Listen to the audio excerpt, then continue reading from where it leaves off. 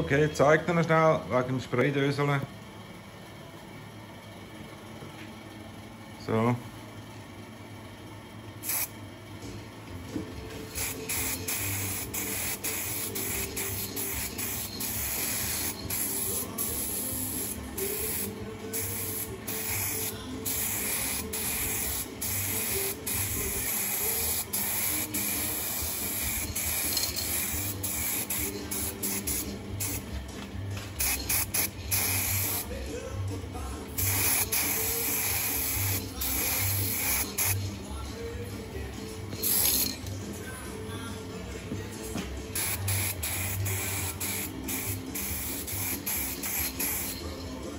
So, das war's.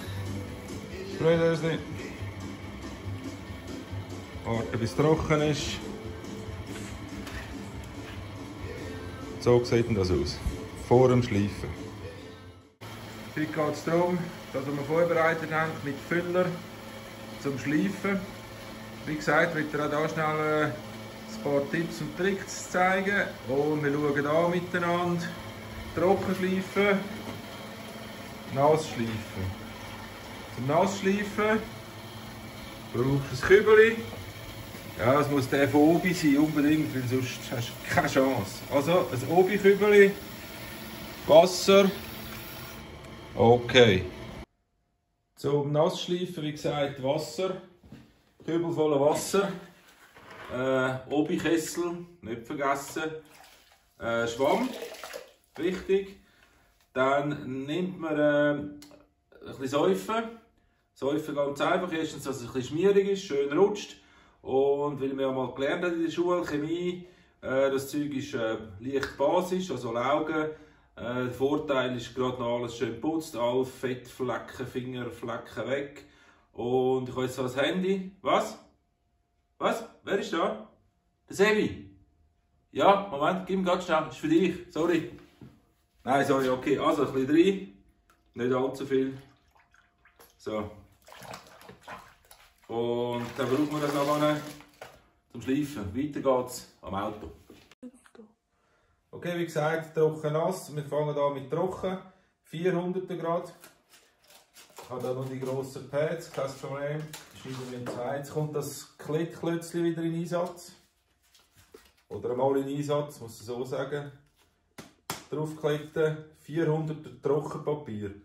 Ich jetzt hier schleifen und dann äh, will ich dir zeigen, was, wie, wie, das aussieht. Das ist so, ich denke, so die Form, ja, ich sage jetzt mal am nächsten an der Wespe. So, so die, die, das tun wir jetzt mal äh, trocken schleifen. Und da auch wieder einfach schön die Form nach.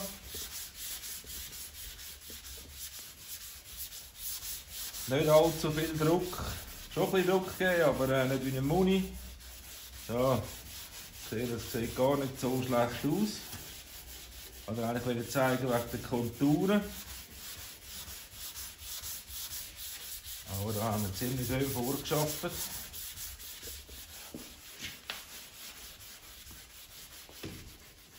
Immer schön davor nach. So, jetzt kommt das langsam und ich will zeigen wirklich.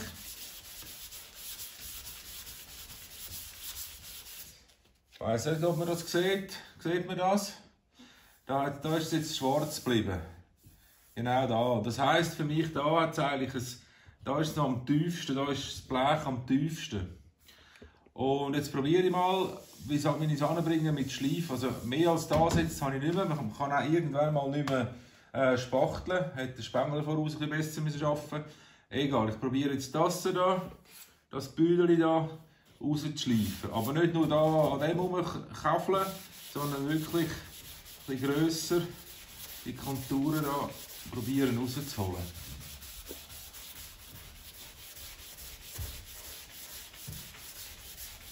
Kommt recht schön raus. Ja, herrlich.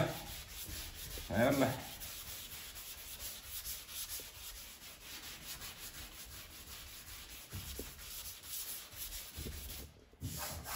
So, weg ist es. Gut. Das ist der Sinn vom Füller, dass man genau solche Unebenheiten äh, schön rausbringt. Noch. Da kann man auch von Hand ein bisschen da. So.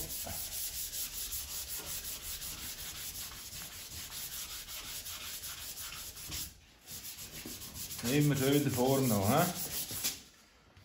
Da unten auch. Können wir auch von Hand. Kein Problem. Okay.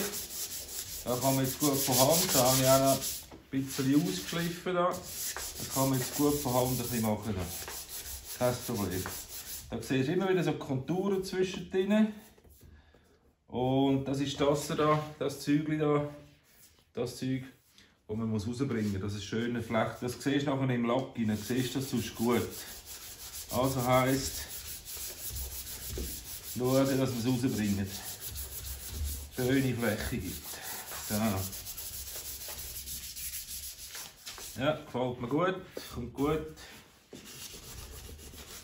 Ja, das war ein bisschen heikel? Schöne Decken rein. Hier auslaufen lassen.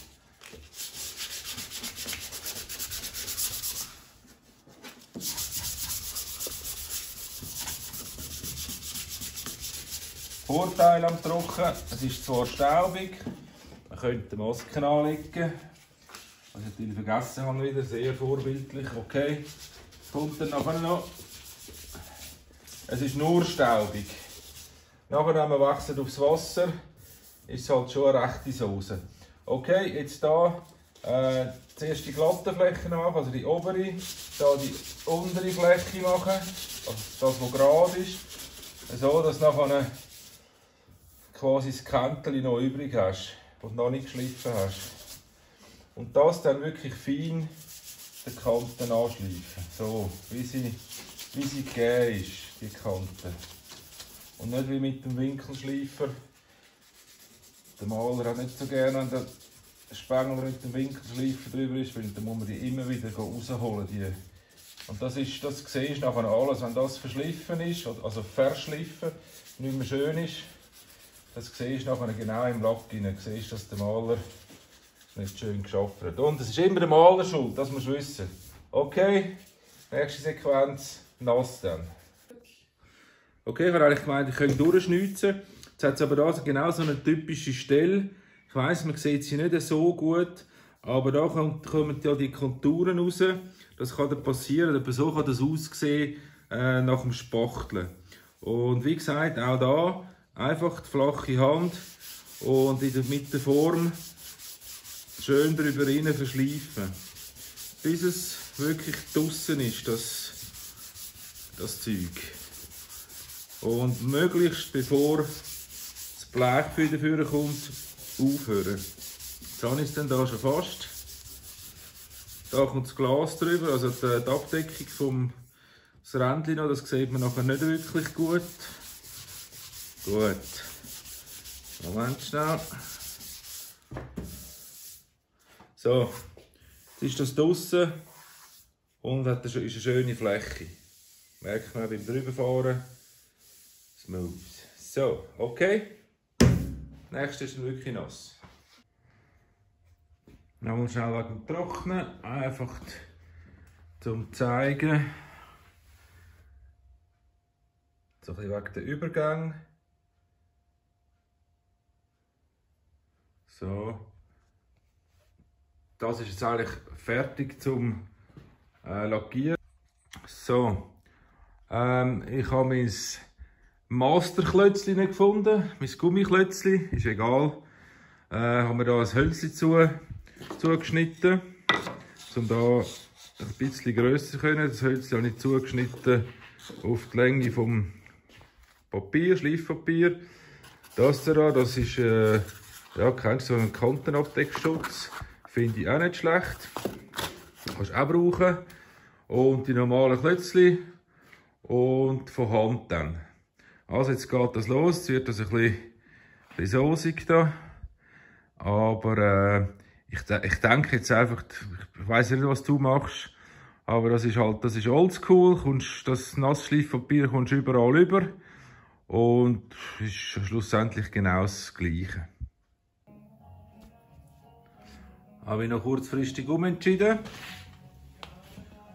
Und zwar äh, habe ich da gleich noch mal schnell trocken genommen. Äh, ja,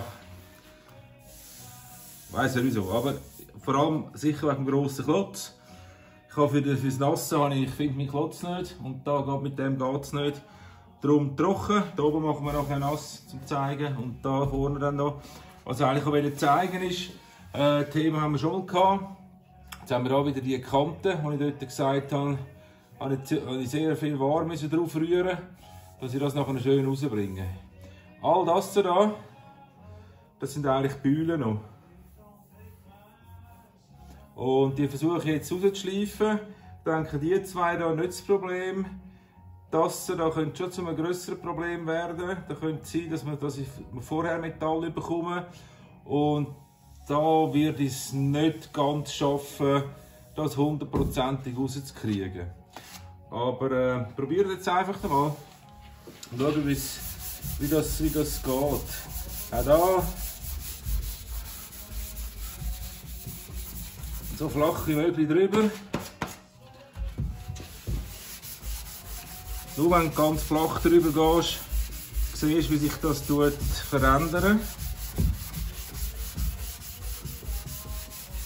verändern. So etwa. Ja, die sind, die sind tief. Die sind, mal schauen. Jetzt muss ich gut schauen, dass, dass ich sehe, wo als erstes Blech dann kommt.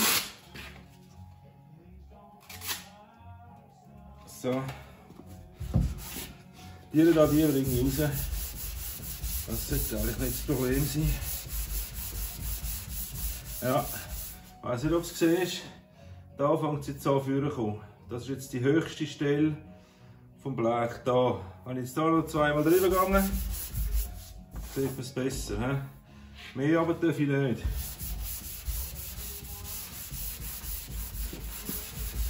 Und das erwarte ich jetzt hier vorne eigentlich auch etwa, etwa so. Trotzdem, wenn möglich, siehst jetzt geht es los. Geht dann auf einmal schnell. He?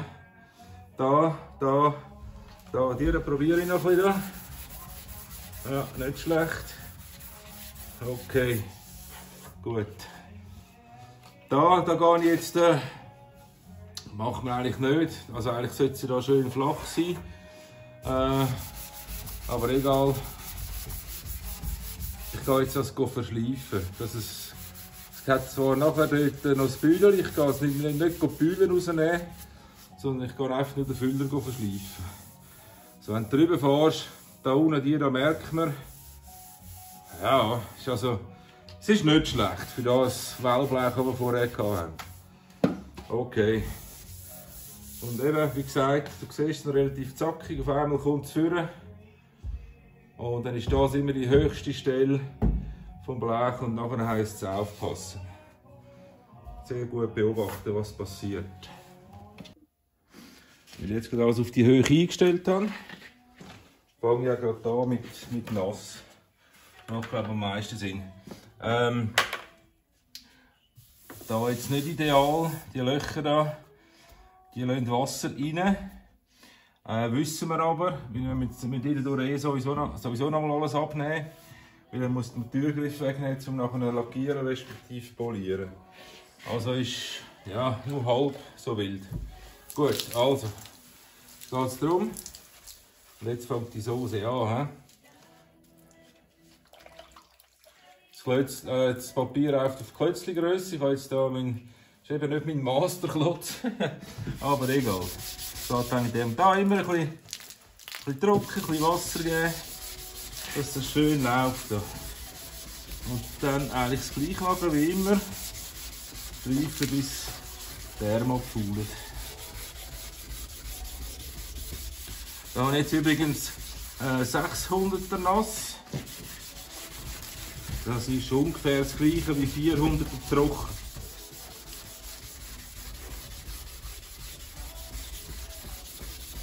Und da kommen wir schon in die Problemzone, die Problemzone rein. Da.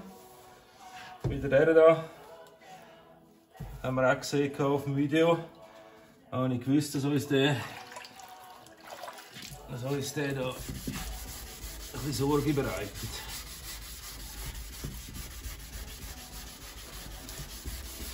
Und eben, wie gesagt, das nass Schleifpapier, das ist sehr günstig, kommst überall über, kannst kaufen, musst nicht nachrennen dem Zeug, weil eben kannst es, äh, kommst überall über und das andere musst du bestellen oder wissen, wo du holen, das Trocknen und ist halt schon, schon ein bisschen teurer. Und ich denke, für, die, für deine Vespa, also ich würde, wenn ich dich wäre, auf, auf nass gehen. Äh, auch da, jetzt fängt eben, jetzt fangen da die Konturen vorkommen. Da. Und da probiere ich jetzt äh, so gut wie möglich das zu begradigen. Aber auch da ist mir jetzt schon bewusst, oder schon immer bewusst gewesen, hat man äh, von Anfang an anders müssen, ein bisschen anders müssen vorgehen. Ich hätte den Spengler eigentlich zuerst müssen, äh, die Bühle, die ich da, das ist so ein Schnatter, der so da durchzieht, relativ tief. Und dort hätte der Spengler mal den Hammer dran haben. Aber das ist halt beim Lackierer geblieben. Machen das Beste daraus. He? Für etwas können wir ja schiessen, improvisieren und flexibel sind wir ja. Also gut. Und jetzt äh, fängt es ja dann an, zeigt es fängt es auch an, durchdrücken. Höchste Stelle.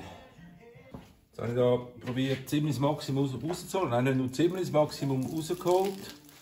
Und ja, du siehst schon viel, zu viel von dem Zeug drin. Da, äh, schwierig, he? Äh, da sieht man genau jetzt die höchste Stelle. Und da kann ich jetzt nicht mehr weitermachen, das macht keinen Sinn. Jetzt machen wir den Rest noch ein bisschen von Hand.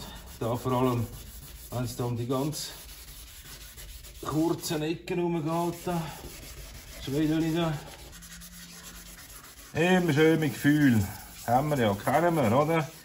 Schön am Kanteli noch. Und da schön in die Rundungen rein. Ja, fein, schön fein. Nicht reinbürgen. So, dann kommt das richtig gut. Da kann man jetzt auch, das kannst du nehmen, einfach den, den Rest hier noch abschleifen. Da haben wir ja nichts müssen. Das ist nur für, für wegen dem Übergang, wegen dem Ausspritzen da, vom Füller. Gewesen. Schönen Übergang machen ist wichtig. So, gut, der da, ist speziell, den muss ich nachher noch anschauen. Da, da ist mir, das ist scheiße gelaufen. Da hat es jetzt eine scharfe Kante. Genau, immer geschaut, dass es keine scharfe Kante gibt beim Füllern.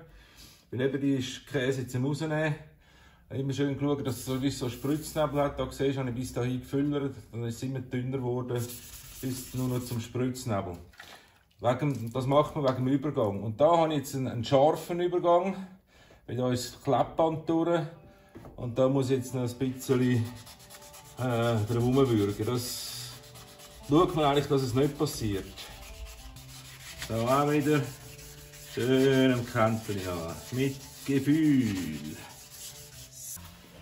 habe ich da für das Klötzchen da das Schneidpapier zugeschnitten oder zugerissen. So, die Idee ist, ein, längeres Gerät zu haben, um schön hier in die Rundungen reinzukommen.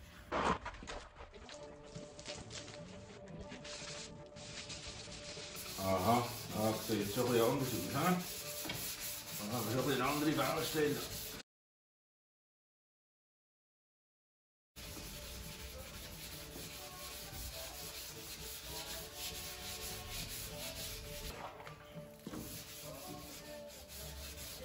Ja, und so weiter, bis ein Beispiel, bis es so gut wie möglich, jetzt in dem Fall, draußen ist.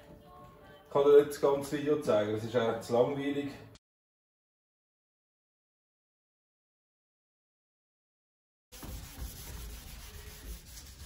Kante, Form, schauen. Auch wieder da, die Kanten eigentlich gelassen schön bis gerade geschliffen, oben oben geschliffen Jetzt hast du nur noch die Kanten zum Machen. Und die machen wir schön. Immer wieder beim Thema. Schön mit Feuer. He? Und gibt saumässig starke Hände.